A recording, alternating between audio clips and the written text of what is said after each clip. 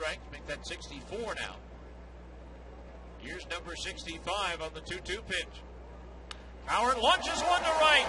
O'Brien back. It's up there. It's out there. And it's gone. Kaleb Cowart with his fourth home run, and we're all tied at three. Make that two home runs given up by Jacine this year.